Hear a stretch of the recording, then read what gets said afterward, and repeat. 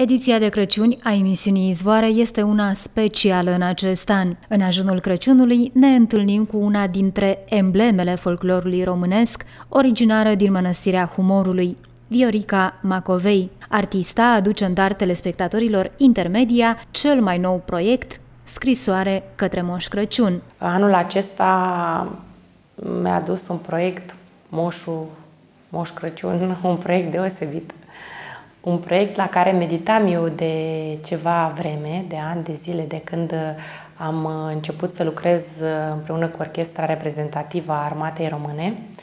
Atunci când am fost invitată, în anul centenar, am fost invitată de dumnealor să interpretez imnul, declarat neoficial imn, imnul centenarului. Marea Unire nu se uită niciodată. Ulterior s-a împământenit așa o colaborare extraordinară între noi și am realizat, după cum spuneam, acum un prag de sărbători, un colind cu o haină orchestrală deosebită realizată de Orchestra Armatei Române, ă, cu viori suplimentari, pentru că ei sunt, reprezintă o orchestră de suflători, ă, de fanfară, cum se spune, dar am venit cu suplimenți și viori am avut. Ă, am avut și un cor divin, Evanghelismos din Piatra Neamț, mulțumim și domnului dirijor Ciprian Ceai. Um, cu ei am realizat acest proiect, Rugăciunea lui Moș Crăciun se numește, muzică și text, Părintele Cristian Alexandru. Uh, mulțumim foarte mult pentru faptul că ne-ați, uh, ne-ați dat acceptul să cântăm această creație deosebită.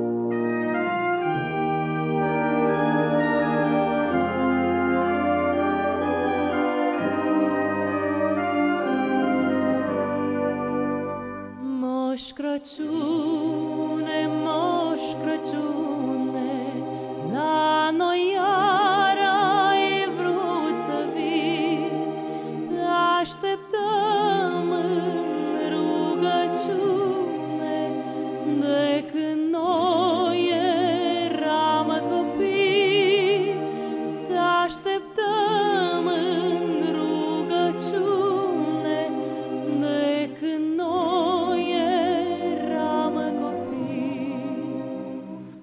Moș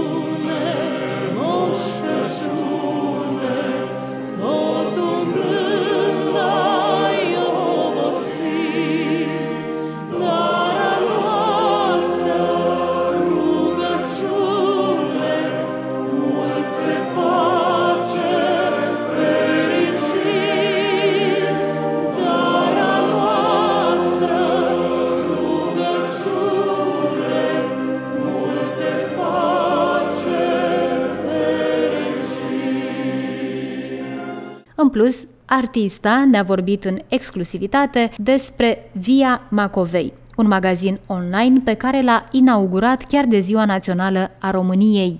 Am gândit încă un proiect, în tot să rămân în acest context, ce se numește Via Macovei. Via Macovei, chiar vă invit să intrați pe viamacovei.ro.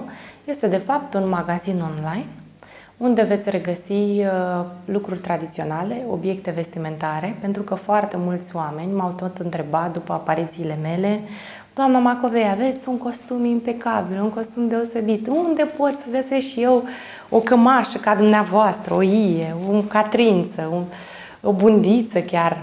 Uh, și atunci m-am gândit, de ce să nu vin uh, chiar acum, în preajma zilei de 1 decembrie, uh, deci nu de mult, în urmă cu câteva săptămâni, am lansat acest magazin online ca un cadou pentru oamenii care iubesc, iubesc tradiția, iubesc costumul popular și totodată vor să transmită mai departe aceste valori comori de suflet ale noastre. Pentru că uitându-mă în stânga, în dreapta, în străinătate, la mari creatori, mari designeri, mulți, foarte multe mari case de modă s-au inspirat din ia noastră românească și au făcut uh, bluze reinterpretate sau costume reinterpretate uh, după costumul nostru popular. Ar fi păcat să nu facem și noi um, lucruri uh, să venim cu lada de zestre, adică lucruri, cu lucruri unicat, de la fote de 100 de ani, fiecare având povestea sa și descriere avizată, o descriere de un uh, etnolog uh, uh, istoric, avem doamna Elena Preda, mulțumim foarte mult, uh, care uh, analizează piesa, piesa vestimentară respectivă, certifică, certifică autenticitatea. autenticitatea și vin cu povestea acelei uh, piese. Și dacă vei da